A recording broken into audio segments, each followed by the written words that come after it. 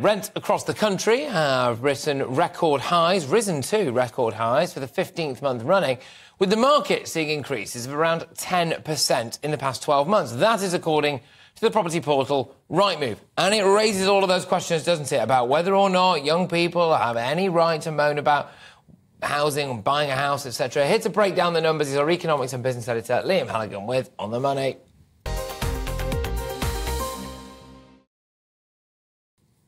Other countries rent, don't they? Like Germany, I think it's a lot more common than it is over here. I mean, is this just a ridiculous British home ownership aspiration, do you think? No, I don't, I don't think so. Germany has much cheaper homes to rent and to buy because Germany has a lot more homes than we have. Germany has about 550 homes, Patrick, for every thousand people. We have less than 400. France has 520. We have less than 400. That's why the cost of housing in this country is so high, whether you're trying to rent or buy. We usually focus on buying, don't we? But we're going to focus on renting in this little section. Uh, and that's why young people are finding it so difficult because in recent decades, the rate of home building, both for rent and buy, has slowed down so much. Uh, and that's why prices have gone up so much more than wages. Let's, let's have a look at these numbers from Rightmove. Yeah uh, came out early this morning. So the average UK rent, hold on to your hat, is £1,278 a month now. That's 10% up on this time last year. That's uh, obviously a huge increase. And the average rent in London is £2,627 a month. That's 12% up on last year. This is because there aren't enough homes. And it, that's why the amount of time you have to spend looking for a home, the competition to get a rental is going up. The average rental says Rightmove attracts 25 inquiries now. Each, you know, emails or viewings or phone calls to the agent. That's four times, three times more than last year. It was eight, eight inquiries this time last year. And the hottest rental market, it's not actually in London.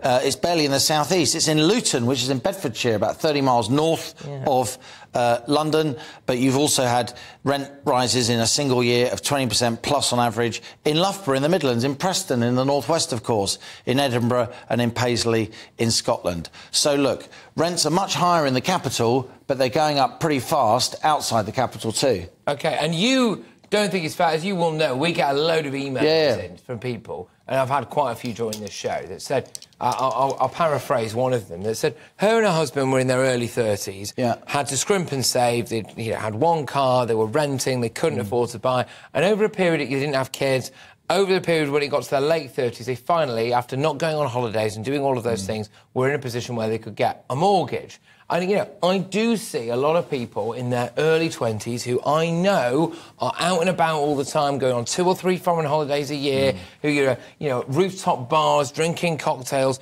who then complain that they can't afford mm. a house or they haven't got any savings.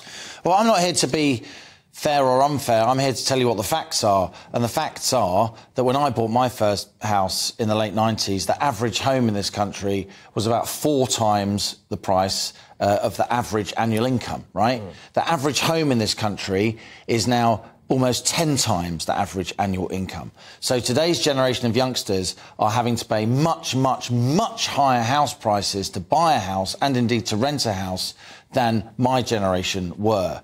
Even though interest rates now are lower because the houses themselves are so much more expensive. So yes, when I bought my first house, interest rates were up at sort of 10 odd yeah. percent.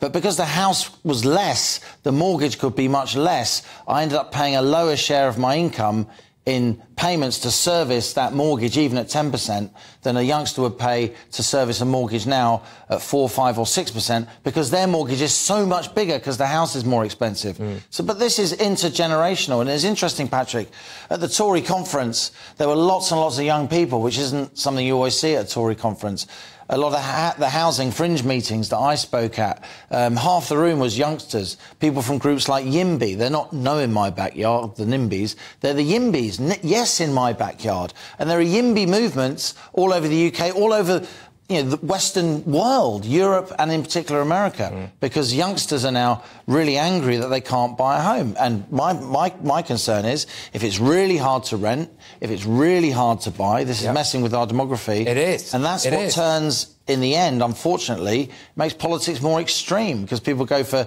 you know, idiot policies that have been proven to yeah. fail, like rent controls and so on. Yeah. So I'm hoping we can avoid those uh, because the evidence against them is very strong. isn't it? You know, long-term decision making for a brighter future, or whatever it was. That slogan. That, that was the Tory slogan. Yeah. Not to say anything about housing. Yeah, it was a big miss. It's, it's, not just a looming crisis; it's here. But anyway, Liam. let's see if Labour do better in Liverpool. Well, that will be interesting. Liam, thank you very much. Liam Halligan, our economics and business editor.